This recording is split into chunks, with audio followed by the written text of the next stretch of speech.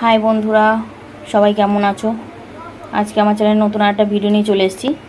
আজকে আমি আর মাছ কষা কষা করব। তার জন্য আর মাছ নিয়ে নিয়েছি। আলু কাটা হয়ে গেছে, আর এর মধ্যে আদা, জিরে, পেঁয়াজ, রসুন, লঙ্কা আর টমেটো সব একসাথে বেটে নিয়েছি। মাছটা নুন, হলুদ মাখানো হয়ে গেছে।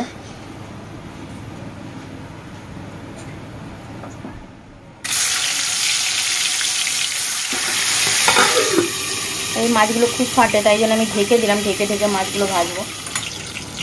আর মাছ গরম তেলে দিলে ভীষণ ফাটে, তাই জন্য আমি মাছগুলো ঢেকে ঢেকে ভাজছি। তাহলে খুব তেল ছিটকাবে।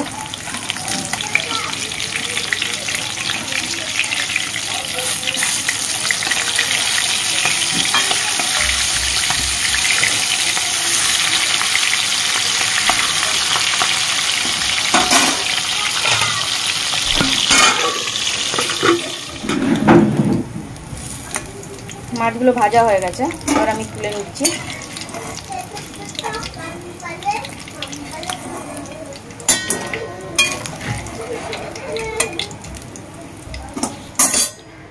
মাছগুলো সব ভেজে তুলে নিয়েছি। তেলটা গরমে এসছে। এর মধ্যে এবার আমি জিরে দিয়ে দেবো।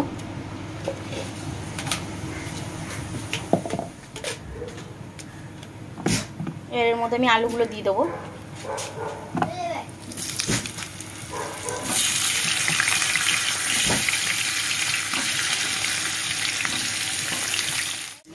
আলুটা ভাজা হয়ে গেছে। এবার আমি মশলাটা দিয়ে দেবো।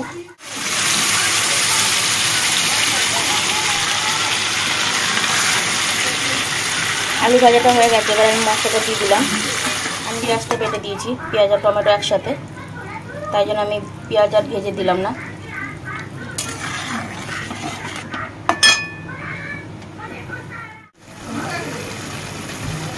মধ্যে এবার নুন দেবো। হলুদ।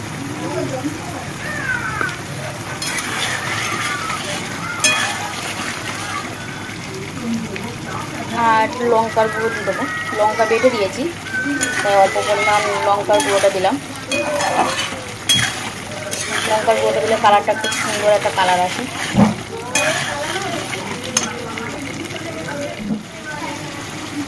দেখতে পাচ্ছেন, লঙ্কার গুঁড়োটা দেওয়ার পর সুন্দর একটা কালার এসছে।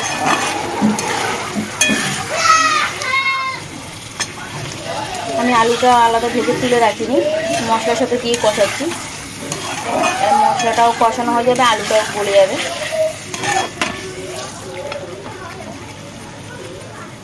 মশলাটা ভাজা ভাজা হয়ে গেছে, কালারটা লালচে লালচে হয়ে এসছে। দেখেই বোঝা যাচ্ছে যে মশলাটা ভাজা হয়ে গেছে, আর আলুগুলো প্রায় গলে এসছে। এবার আমি জল অল্প দেবো। আলুগুলো গলে গেছে বলে জলটা একটু অল্প দেবো।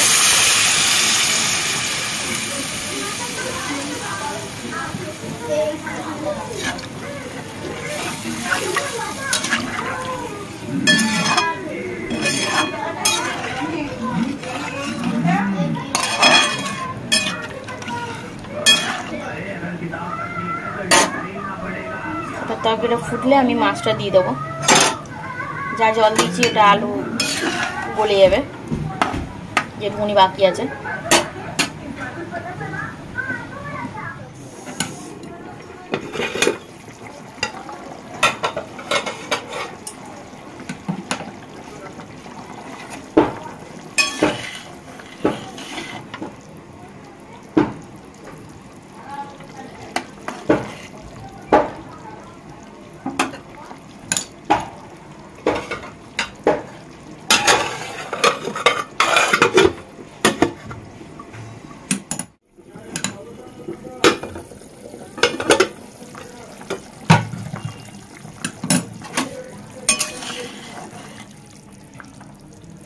আলুগুলো পুরো গলে গেছে। এবার আমি মাছগুলো দিয়ে দেবো।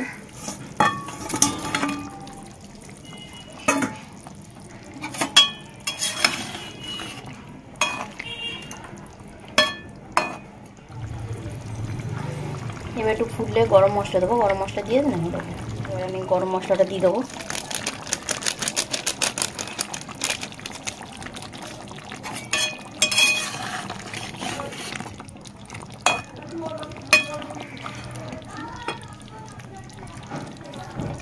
আমার আর মাছ দিয়ে আলু দিয়ে কষা কষা রান্না হয়ে গেছে। তরকারিটা দেখতেও সুন্দর হয়েছে আর এরমভাবে রান্না করলে খেতেও খুব টেস্ট হয়। তো তোমরাও এরমভাবে রান্না করতে পারো। আর আমার ভিডিও যদি তোমাদের ভালো লাগে তো সাবস্ক্রাইব করবে। আজকে অবধি। কালকে আবার নতুন ভিডিও নিয়ে আসব।